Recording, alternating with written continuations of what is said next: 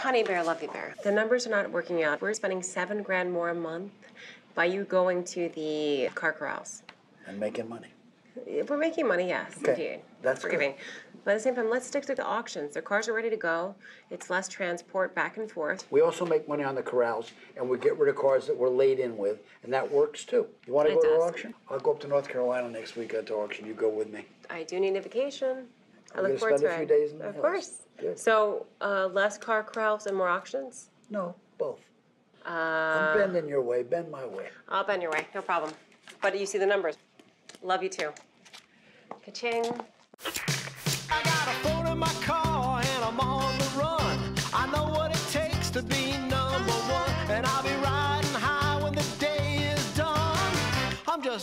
here having fun. I've been buying, selling, and trading classic cars for 40 years.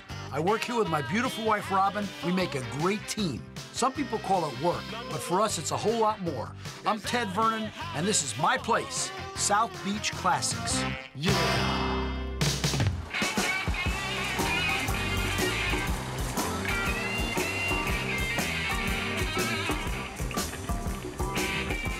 Okay, so this one too has to go. Okay.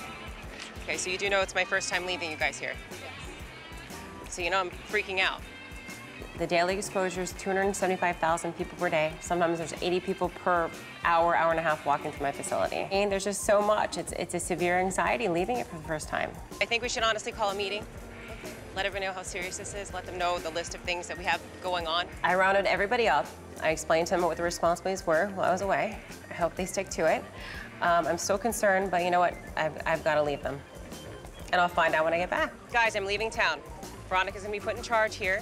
Um, you guys all know your responsibilities. You all know what you're, I mean, I have nothing to worry about, although I'm freaking out completely. It's my first time ever leaving. It's like leaving a child behind. I'm leaving for an auction to North Carolina with Ted. And you guys are gonna be here to run the place by yourself. There's so much responsibility here. You guys might not even realize it, but let me, let me tell you, 80 people per hour walking through this door. I need to make sure clients are safe. I need to make sure things are locked up at night. It's a big place and a lot of responsibilities. And I have faith in you all.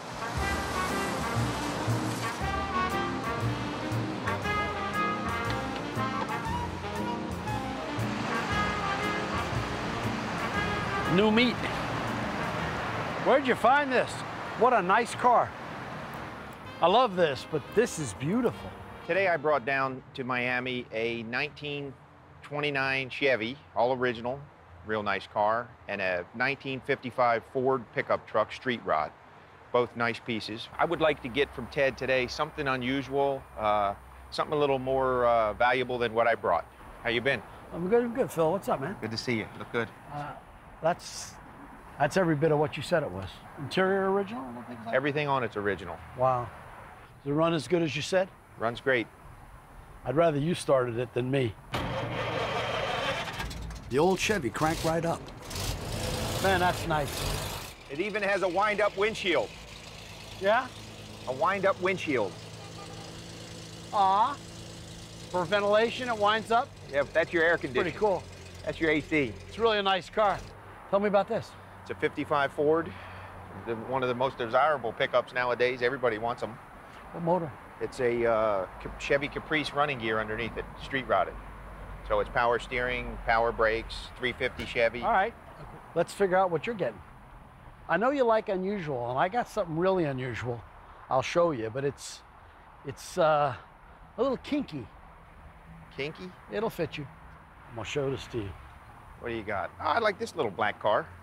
It's a 51 Morris. My Morris dad had one. when he Did was, he? he? told me about it when he was 12 years old. He used to drive it around while his father wasn't home. He would get in it and drive it around the neighborhood. Uh-huh. And he was bringing it back in the driveway one day, It's a and nice he, memory for you. yeah, and he can't was, bring, have it. he- he was bringing bringing it back in the driveway one day and bent the door. Check this out. Oh, this is pretty neat. We're using it today. My aunt, my aunt passed. It's It's great. definitely different. Yeah, it's different. It's a wartime car. It worked as an ambulance slash hearse during the war, so it's got a history. How's it run? Runs like brand new. I'm figuring your vehicles 55 Ford. and the 29 end of the world a quarter. That's giving you everything, and this is a quarter. You know, or it's damn close to it. It's a nice car, Ted, but I can sell mine separate and ask more when I trade. I uh, I like it, and and you're close, but I kind of that's giving me sentimental value for my dad. He used to have one of those little cars. If you throw both of these cars at me, I'll do the deal. I think that's fair. I'm giving you two nice cars. This is a nice car, but that little car there, if you throw that in, I could drive my granddaughter around in it. We could have a good time. You're playing the family card on me? The way this is going to break is that'll be the 29 Chevy and this will be the 55, which makes you winning. You know? It does make you winning. No, How about give me two grand and we're done? Thousand. Done. Thousand bucks. Done. You own them. Okay. Thank you. I was happy with my deal. I had to pay a thousand, but uh, Ted doesn't really know it. I probably would have paid three. I'm happy. I think this will. I'm amazed. I got a granddaddy. It's like somebody likes me today. It's not easy.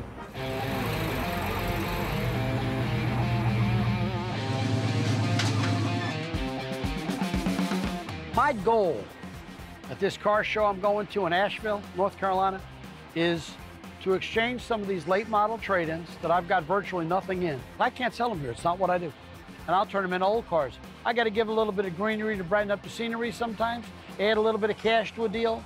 As we say in the jargon, call it boot. Got to give a little boot. Whee! Whee! Some guys spend four or five thousand dollars on these wheels.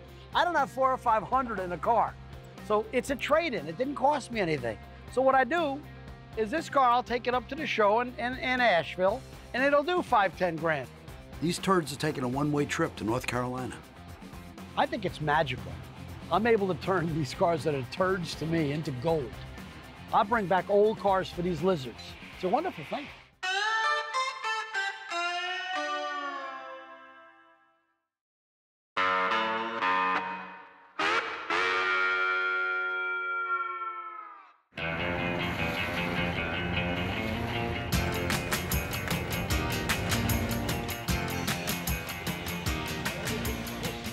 First day of the Asheville Corral, and I take Robin to see this truck I was looking at earlier.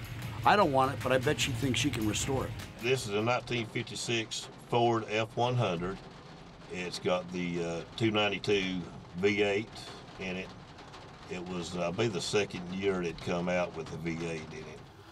Honey, I don't want the truck. It's all rusted. The door's bad on it. That's enough. But you said it two runs grand a well. quarter. Runs great. Well, you know, Ted, all day long, we put a paint job on it. We could sell it for 12 grand. Really hate getting rid of it, but I really, I, I really love this truck, and I'll, I'll, I'd love to see this truck when it gets restored. I mean, what type of profit, you know, in business is, is better than half, doubling your money? Yeah, you're right about that.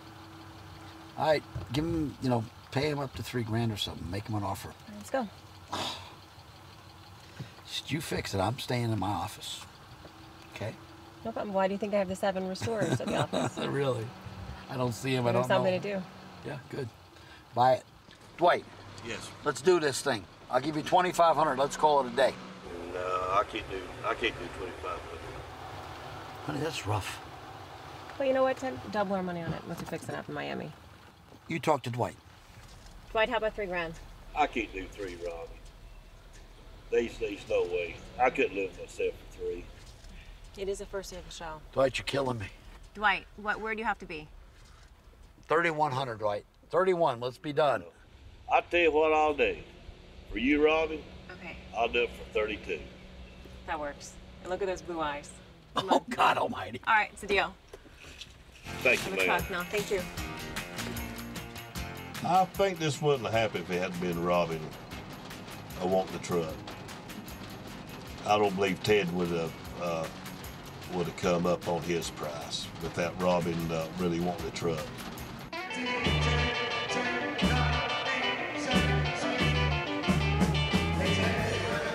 I'm completely frustrated with Ted Vernon and, and his theme in which he wants to take all of our inventory to car corrals and trade them off, add money to the to the package, and bring back basically the same thing that we already have. Auctions are so much more efficient. Ted's in and out. We come, we truck the cars back, and they're here for retail. What what doesn't he get? I think it's worth that. Would retail for 18, 18 to 22. 22.5. I think this car should be bought for 10, 12 grand. I wish I can just pound it into his mind that that I've been over the numbers. I've shown him the numbers. He doesn't believe me. The numbers are there. I'm a numbers person. Business is numbers, and he's he's got to factually get it down straight. Big, big three. Little bit three. Ted is very much a social person. He loves talking. He's got the gift of gab. You know, no one can can devalue that. But unfortunately, it leaves me with a lot of the workload left afterwards.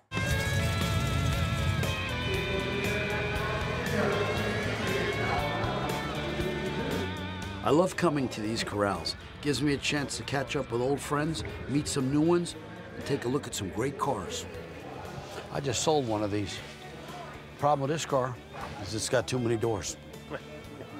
Too, Am I- too many. Am I wrong? No, you're right. I'm right. You're asking 15 for this car, right? Right. And that's that's fine.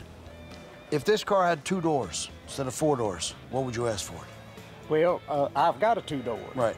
And it's a $60,000 car. There it is. This is too many doors. But that's 60 grand for this in a two door. That's the difference. That's, you know, that's just that's just the way collector cars are. Well, actually, it would depend on, on the Condition. it was the the Bonneville, or some of the like the Bonnevilles go for 150. You know, on down. It, it just depends. Yeah. The perfect show car, and this and this the two door is. Uh, I'd rather have one like this that I can get in and drive. I don't really want every single thing to be perfect. I like this. It's just nice. Thanks for showing it to me. That's what I'm talking about, though. When you look at these cars, too many doors. Too many doors makes it tough to sell. And this guy's got a fair price on his car. He really does. But if it was a two door, as you said, it would be 60. Hell of a difference.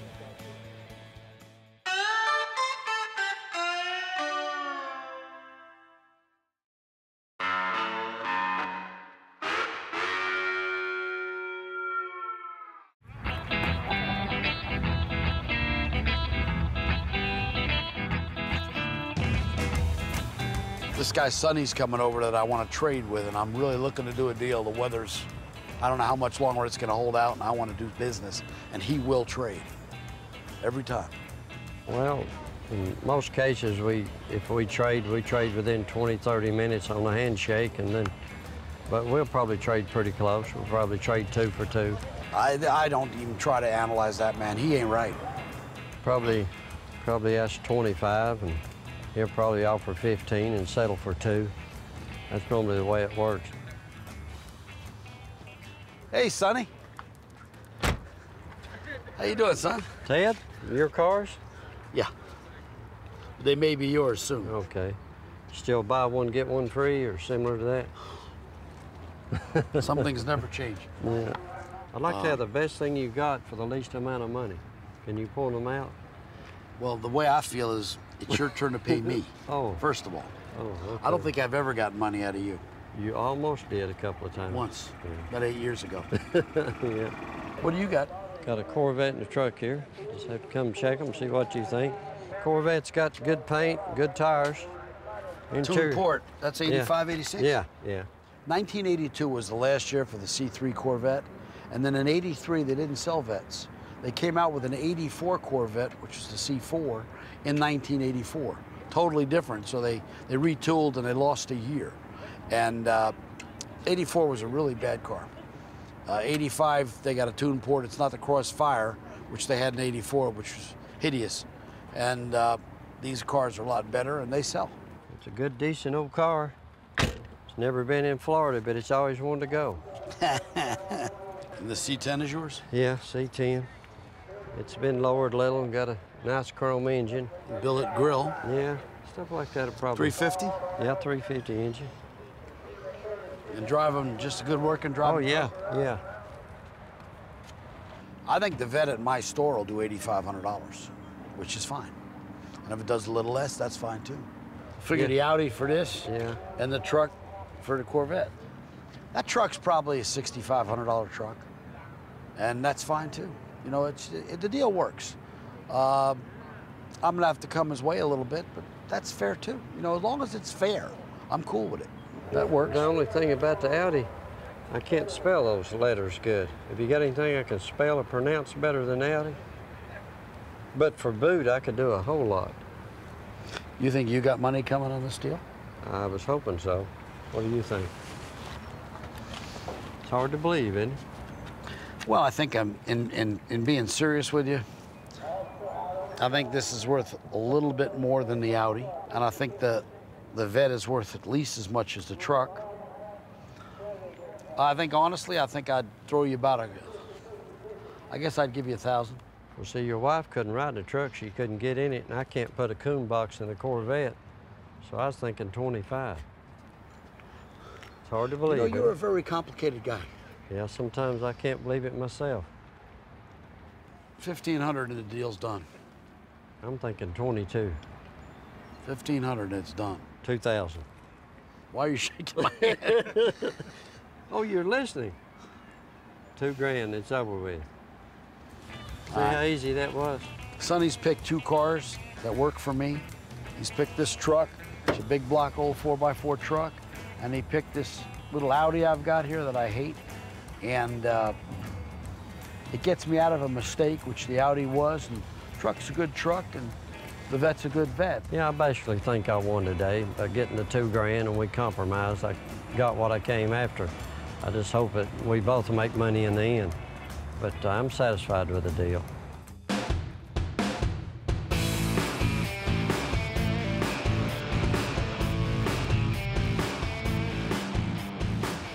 We're driving around the corral and I spot some wheels that would be perfect for a Cobra back in Miami. I gotta have these wheels. Tires look like my head. Hey, I, I can see they do match. All right, guys. I'll pay a buck and a half, $150 cash. And I'm good. How about 180? How about stop busting my chops? I honestly think the, the Mustang wheels, I think they're worth 150. That's the tires are bald. I gotta bust them down. I gotta get new ones. How I meet you in the middle? So 165? That's what that is. That's the middle. How about 150 and I'll pay you Okay, we'll make Good. it. Appreciate you. before I have a heart attack.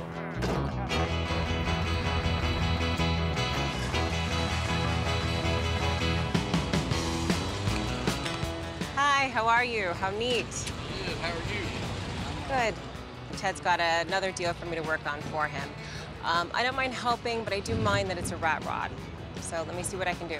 It's a 1964 Chevy Bel Air wagon rat rod. Even if I get it for $3,000, what could I possibly retail the wagon for at the end of the day? The profit margin is, is not there in this deal. You know, I'm, I don't know. I'm kind of itchy. I don't know how to think about that. I usually don't deal with women on their cars, but uh, uh, we give it a shot. So, rat rod, how long you how long you've had it? I've had it since about April. Okay, what, what year is this wagon? This is a 1964 Bel Air. Okay.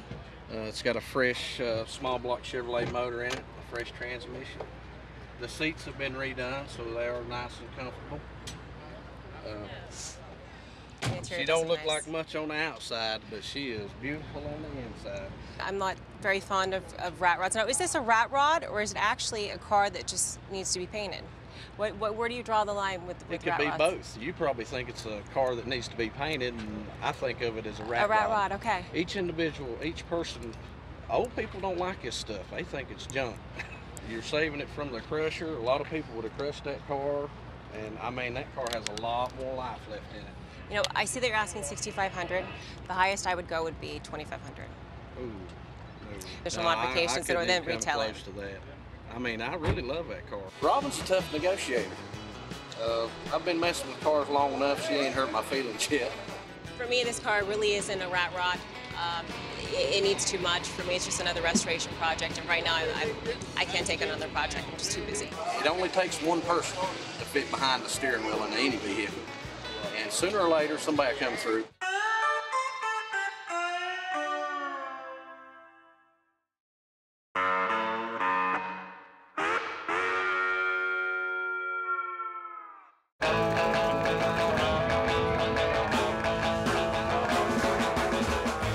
I got the best of both worlds. I get to play with cars, and I got my beautiful wife here, so Honey, I can tell you've been out in the sun. You've got some beautiful color on you. Yeah. Did you leave any cars out in the field for anybody else? no. I got rid of the, the black truck I got rid of, and I got rid of that hideous Audi. I got rid of the Camaro, and I got rid of the Jeep, which I had no use for. I did a deal with old Sonny. I gave him that uh, big block truck for an 85 Corvette. 85 Corvette, but I, I thought those aren't desirable. No, but they're a whole lot more desirable than that big truck that gas heater. That makes sense. Yeah, I'm happy about it. I know the office isn't going to run very well for a couple days. I'm a little selfish. I know the, the magic that you can do up here anyway. We'll put it back together when you get home. I can't, you know, your gargoyles are No, down you, there. honey, I agree with you. You pried me out of the office. I did not want to come here, but just getting away and coming to the fresh air here in Asheville, North Carolina has really been refreshing. Beautiful, isn't it? Yep, it really is. So whatever it is, we can handle when we get back, I'm sure.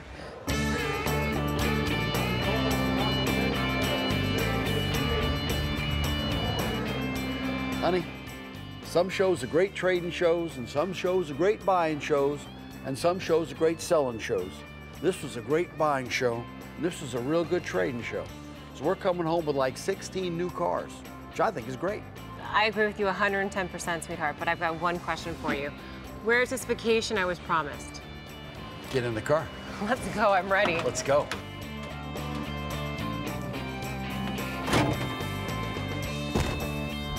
We got a bunch of cars at the auction and made some great deals.